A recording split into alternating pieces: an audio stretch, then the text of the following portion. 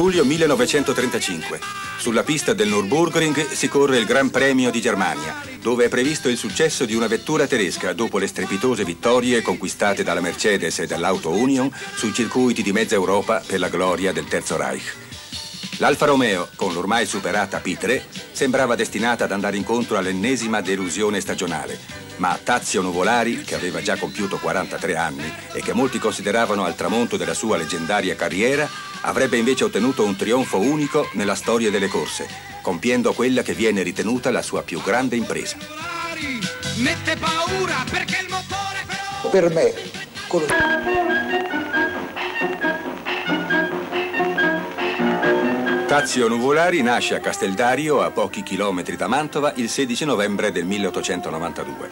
Soltanto nel 1920 comincia a correre in moto e dall'anno successivo alterna le due alle quattro ruote. Gli basta un lustro per conquistare da centauro vittorie e fama di temerario.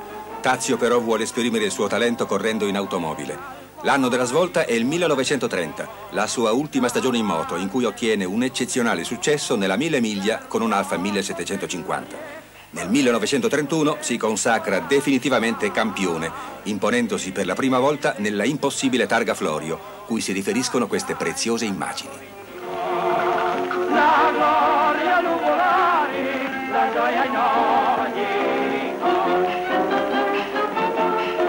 Hai cominciato a correre per una pioggia di nuvolari è macchiata da un episodio che tuttora fa discutere. Nel 1933 al Gran Premio di Tripoli viene abbinata una lotteria con un montepremi di 8 milioni e mezzo di allora, valutabili in circa 10 miliardi di oggi. I cavalieri del rischio, guidati proprio da Tazio, non resistono e organizzano una clamorosa combin, accordandosi fra di loro e con i possessori dei fortunati biglietti cui sono accoppiati per spartirsi l'intero bottino. Pastetta è una cosa che sempre...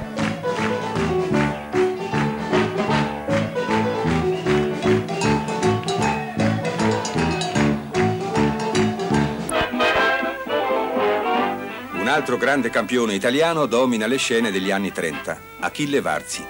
E come sempre l'Italia si spacca in due. Da una parte i tifosi di Nuvolari, simbolo di coraggio e improvvisazione, dall'altra quelli del freddo distaccato Varzi.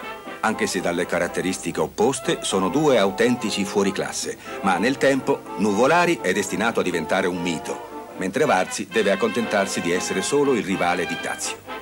Nuvolari vinceva anche quando nel 1934 con la scuderia Ferrari riesce a partecipare a 16 gare, ne vince 9 e in 6 o 7 si classifica. Dà di se stesso è l'immagine vincente, l'immagine che colpisce, l'immagine che ancora oggi in fondo...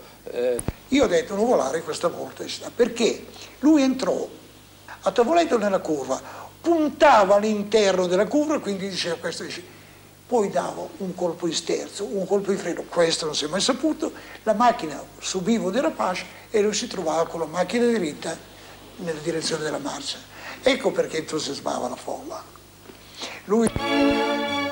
Nell'Europa in cui prevalgono le dittature fasciste, mentre si allungano le ombre di guerra, le automobili e le corse automobilistiche rappresentano un eccezionale laboratorio di ricerca e sperimentazione.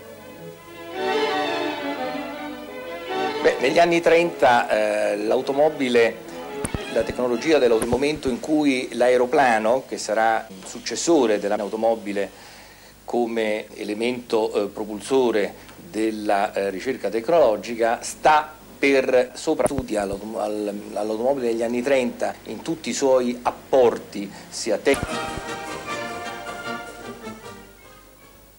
Ti hanno portato via. La Formula 1 oggi è la massima espressione sportiva dell'automobile, applicazione delle tecnologie più sofisticate che hanno contribuito a schiacciare l'immagine del pilota. Ci si chiede dunque se Nuvolari sarebbe stato il mantovano volante anche alla guida delle vetture dei nostri giorni, oppure se la sua leggenda sarebbe stata ridimensionata da una realtà che vuole campioni al servizio dei computer. Oggi non può rinascere, non può tra, tra, il tempo di Nolo Volari ed oggi appunto tante cose sono obiettivamente diverse. In più, in più credo che oggi un pilota per essere veramente eh, vincente... Eh, dare di sé tutto quello che lui voleva e sapeva fare. Nuvolari voleva correre non solamente per vincere, perché non è giusto che Nuvolari volesse sempre vincere. Nuvolari voleva correre e voleva soprattutto dare dimostrazione delle capacità sue e della macchina. Questo è molto difficile da dire perché è impossibile di... In paragone così dice, paragone così, solo... Nel 1938, dopo il terribile incidente di Po, Nuvolari annuncia la sua intenzione di ritirarsi dalle corse. Si ripresenta invece al Gran Premio di Germania, non alla guida dell'Alfa, ma della tedesca Auto Union. Si parla di tradimento. A un uomo così grande come fu Nuvolari... Non faccio più il gigolo. Ho chiuso con quella vita. Sono libero e solo. Ma adesso non hai più un lavoro. Non importa. direi così faticoso condurre. Nuvolari a Monza diede una prova di maestria favolosa. Nella lunga carriera di Nuvolari, quanto mai importante è stato il suo rapporto con Enzo Ferrari, il quale ancora oggi ne parla come del pilota per eccellenza, ricordando anni e imprese irripetibili. Nuvolari è il tipo di pilota Dopo la guerra, Nuvolari si ripresenta in pista.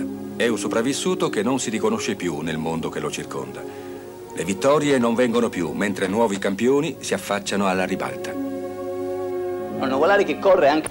Un modo di vita, ma anche un modo per cercare, invece non fu esaudito in questo suo desiderio e purtroppo morì nel suo letto. Questa fu la ragione che spinse Nuvolari a ricorrere dopo la guerra, perché ormai fisicamente era era finito. Nuvolari, sempre più malato, amareggiato per la scomparsa dei suoi figli, si trascina da un circuito all'altro. Ma il destino ha previsto per lui, per il grande Tazio, ancora un giorno di gloria, nella mille miglia del 48. La eh, mille miglia del 48 è con questa macchina, una Ferrari, una delle primissime Ferrari, che ottiene eh, da un amatore privato, il principe Trubetskoy, che gli cede la sua vettura, eh, alla vigilia della gara, una macchina che non ha mai provato, entra eh, in macchina e para fanghi, eccetera, ma lui cammina, va, va sempre, riesce ad avere dei vantaggi incredibili sui suoi immediati inseguitori, eh, fin tanto che la macchina cede e, e, e lui esce di scena in questo... Lo sguardo duro, su Nuvolari, come per tutti i campioni della sua epoca, resta un interrogativo. Ma che uomo era? Guardi, era un uomo estro... Il mito di Tazio Nuvolari. Un mito che resiste all'usura del tempo, perché autentico come il suo folle coraggio, come la sua concreta bravura, come la sua semplicità nell'affrontare le corse e la vita.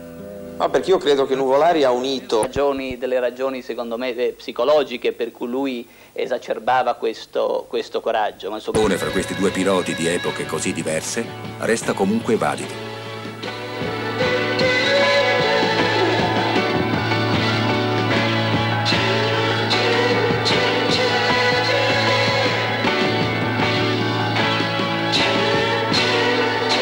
Senti, hanno detto che Gilles Villeneuve è stato...